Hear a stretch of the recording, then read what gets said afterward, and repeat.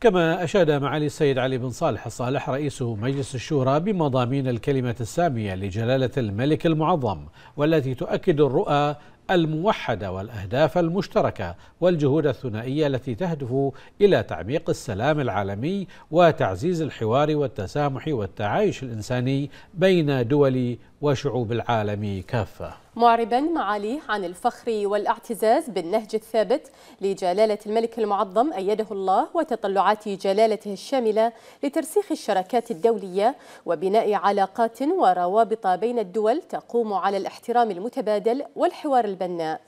وأكد معالي رئيس مجلس الشورى أن دعوة جلالة الملك المعظم حفظه الله ورعاه إلى قداسة بابا الفاتيكان لزيارة البحرين والاطلاع على الشواهد الحاضرة والنماذج الراسخة للتعايش والحوار تعد تتويجا لمسيرة زاخرة وتاريخ مليء بالعطاء الإنساني.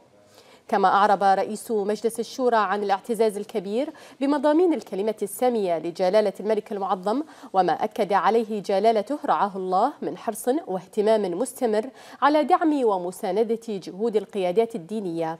وأثنى رئيس مجلس الشورى على المضامين القيمة التي جاءت في كلمة قداسة البابا فرانسيس بابا الفاتيكان خلال استقبال جلالة الملك المعظم لقداسته. وما حملته من معان نبيلة تجسد صورا متعددة للتسامح والتعايش الذي تتفرد به مملكة البحرين. كما نوه معالي رئيس مجلس الشورى بمضامين الكلمة التي ألقاها فضيلة الإمام الأكبر الدكتور أحمد الطيب شيخ الأزهر الشريف. رئيس مجلس حكماء المسلمين.